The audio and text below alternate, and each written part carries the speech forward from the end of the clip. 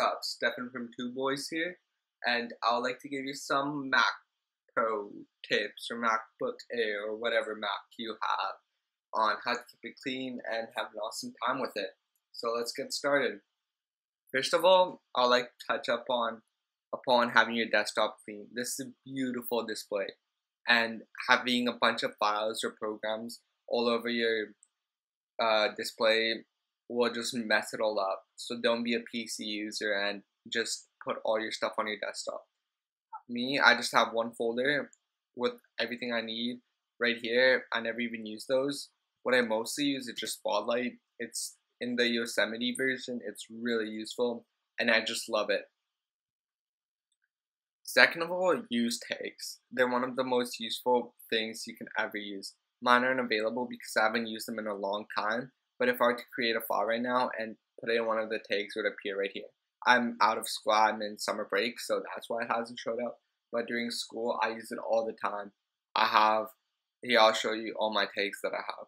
I have science, socials, I'm going grade 10 right now. Uh, socials, English, planning 10, uh, French, purple, and purple, I don't know where I created that. And home, that's everything I do at home. And it's just so much easier to organize your stuff.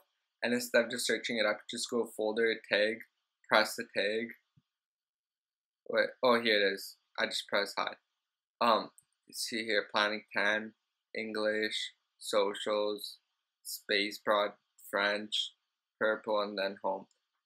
It's one of the most useful things you can use, and I'm really impressed with it.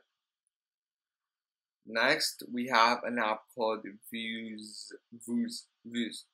I don't know how to pronounce it. Vuze. Yeah. So pretty much it's like uTorrent, but it's for Mac, and I find it a lot better. Here you can see that I downloaded four movies today, and it works really good. I downloaded a couple yesterday, but I deleted it to make it more organized.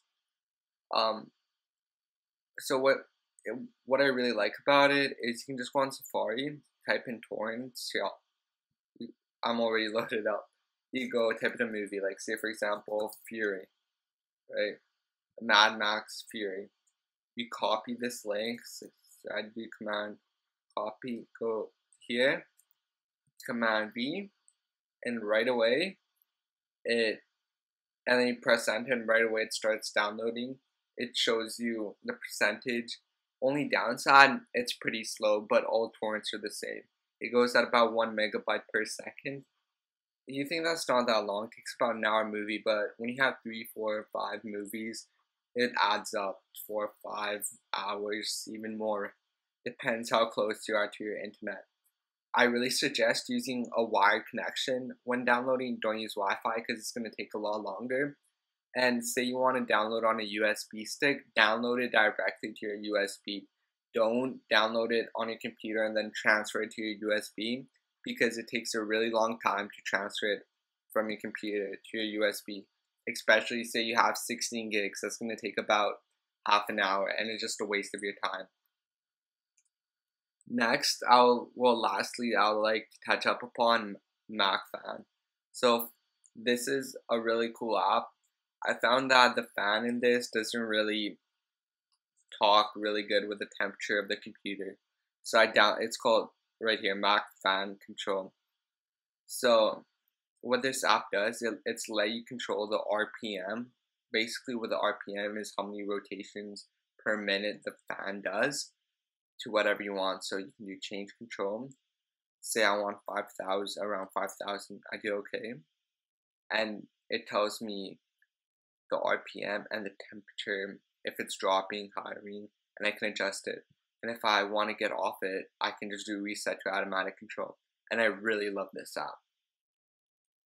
And that about wraps it up. My main points for this video just keep a nice, such awesome machine with such a nice display. This is the MacBook Pro 13 inch.